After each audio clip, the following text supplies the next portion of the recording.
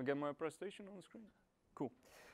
Okay, uh, welcome to our microtalk, uh, a few from the trenches. I'm from uh, Platipus, and we're very excited to be here at the uh, Augmented World Expo. Uh, I'm Theo. I'm uh, the founder and the, lead programmer in uh, Platipus. And this is Koen, designer and engineer. And uh, back in the Netherlands, we have a team of uh, interns and freelancers and partners with whom we make uh, great augmented reality uh, products. Um, when we told our friends that we were going to San Francisco, they uh, told us we should make sure that we wear some flowers in our hair. So uh, we made a flower power app to do that. Um, which is of course just a joke, but a serious point that I want to emphasize that I think that augmented reality apps to be successful should have a fun uh, component in them, especially in education where you want to grab the attention of your uh, student. So we're based in the Netherlands in a small town in uh, uh, called Vlaardingen, and we love to uh, augment the world. The world is our canvas. And it's a great time to do that because we can stand on the shoulders of giants. There's a, a lot of technology that we can uh, use to create uh, great apps. But uh, this also uh, occasionally has its downside. For example, we were very dependent on uh, technology, and when Apple seized them and took them out of the market, that was a real problem for us.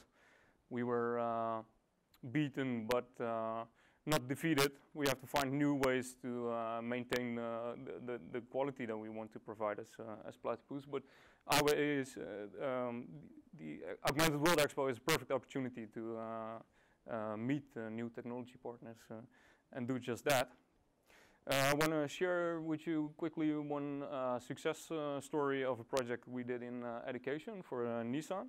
They have this thing called Nissan Academy, where they use this to train their employees. And for years, we've been working with them, uh, uh, doing uh, web-based trainings, uh, and we help them to take complex technical uh, subjects and present it in a form that it was more uh, comprehensible, easier to understand.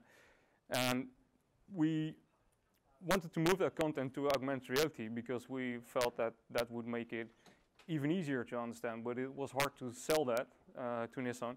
So uh, we took a risk and uh, developed uh, uh, a demo uh, in which we took Nissan Note e-learning content and just uh, uh, put that in uh, augmented reality.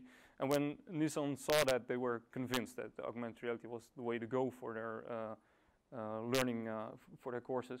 So after this demo, we were asked to take the textbook of the Nissan Note and augment that, and um, that had a lot of educational value as well. Things like uh, animations that you can see from all sides, uh, see-throughs, etc. And this was such success that we could take it even further and augment real physical cars. Um, and we, we've now done that for several cars. We have augmented the exteriors where we put technical information uh, for uh, uh, mechanics on the car to learn uh, about new models from Nissan. We augmented uh, the engine rooms where our app uh, can determine which engine you're looking at and give you accurate uh, technical information on that. We uh, augmented the interiors of cars where you can do funny things like uh, uh, visualize how airflow will circulate through the car under different settings and circumstances. And of course, we use augmented reality to create these exploded views. This is something that's hard to do physically, but has a high educational value, exploding things. Um, not everyone has access to a physical car, so uh, we also made all the educational content available on 3D models. Um, and well, as a relatively small company, we would say that we've been relative, uh, quite successful in uh, building great uh, AR experiences.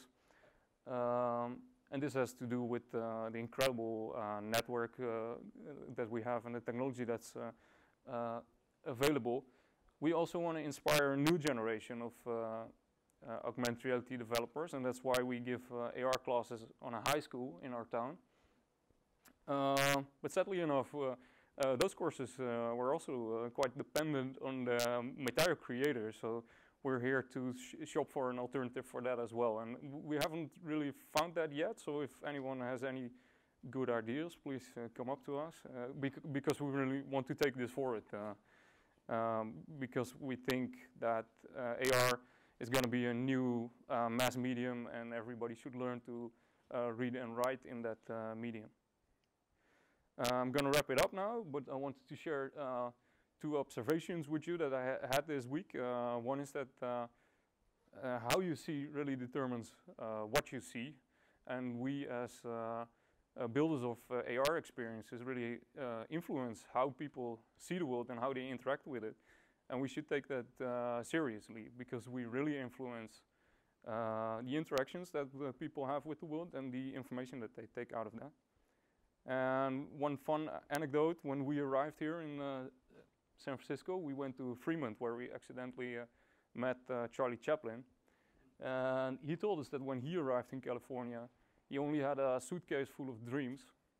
And his life has proven that you don't have to be big to make it big.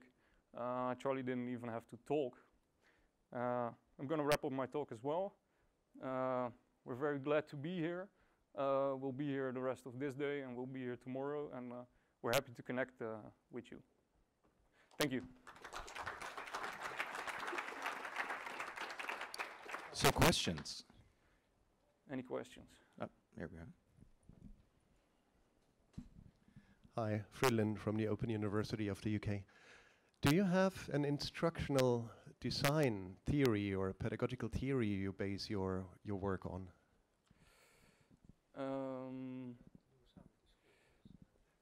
well, we partner up with uh, uh, companies that have more knowledge uh, on how you, what's the word for it? Yeah, educate. Educate. Um, so, uh, so uh, no, but we have access to that. Yeah. All right, other questions?